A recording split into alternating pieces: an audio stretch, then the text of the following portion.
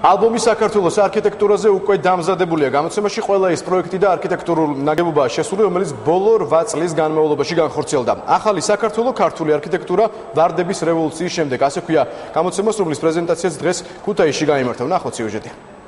ახალი პარლამენტი ქუთაისში, იუსტიციის სახლები, ძველი თბილისის ახალი სიცოცხლე, გზები და თანამედროვე არქიტექტურა. მოკლედ, ყველა ის შენობა ნაგებობა, რომელიც საქართველოს თითქმის ყველა რეგიონში ბოლო 8 წლის განმავლობაში აშენდა, თანამედროვე ფოტოგრაფებმა ჯერ საკუთარ ფირზე აღბეჭდეს და შემდეგ ქვეყნის მასშტაბით განხორციელებულმა პროექტებმა თავი ერთ კატალოგში მოიყარა. საქართველოს 4 თვის განმავლობაში ფრანგმა ფოტოგრაფებმა ფეხით, ტრანსპორტით და ვერტფრენით მოიარეს. ფრანგი ფოტოგრაფი ვინსენტ ლაპარტიანი ერთ-ერთია იმ 4 ფოტოგრაფ შორის, რომელიც ვარდების რევოლუციის შემდეგ ქართულ არქიტექტურას გაეცნო. ამბობს, რომ გადაღებები საინტერესოდ მიმდინარეობდა და თითოეულმა ფოტომ საქართველოს ყველა კუთხე გააცნო. What I was impressive for me ყველაზე შთამბეჭდავი ჩემთვის ის კონტრასტები იყო რომელიც ამ ქვეყანაში საკმაოდ ბევრია შუშის შენობები თანამედროვე პარლამენტი და იუსტიციის სახლები გასაოცარი შეგრძნება დამიტოვა ღამის თბილისმა და მშვიდობის ხიდმა გადაღებები ჯერ თბილისში დაიწყო, შემდეგ იყო სიღნაღი, მესტია, ქუთაისი, ბათუმი, ახალციხე და სხვა რეგიონები.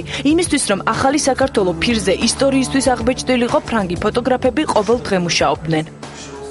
The main point is every day was uh, მიუხედავად დატვირთული გრაფიკისა ჩვენ ფოტოგრაფთა გუნდი დარწმუნებულები ვიყავით რომ პროექტი საინტერესო გამოვიდოდა მინდა თამამად ვთქვა რომ ქვეყანაში საკმაოდ გემოვნებიანი თანამედროვე არქიტექტურული ნაგებობებია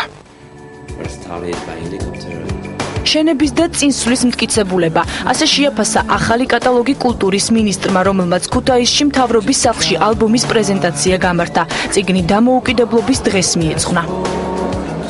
ეს არის ახალი ქართული არქიტექტურა, რომელიც 2004 წლიდან 2012 წლამდე შეიქმნა საქართველოში ფაქტურად ცარიელ ადგილას და რამაც ძალიან ბევრი ადამიანი, განსაკუთრებით ჩვენი ქვეყნის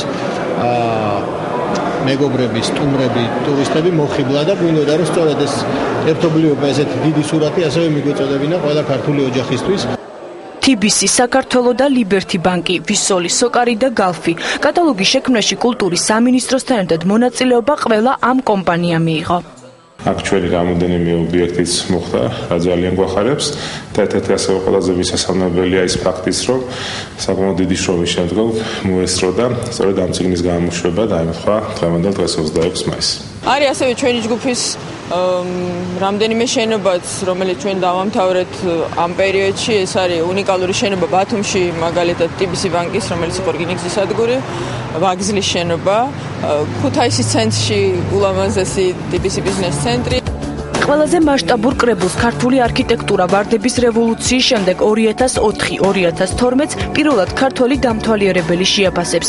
ალბომი საქართველოს ახალ არქიტექტურაზე მალე ბინას ყველა ოჯახში დაიდებს.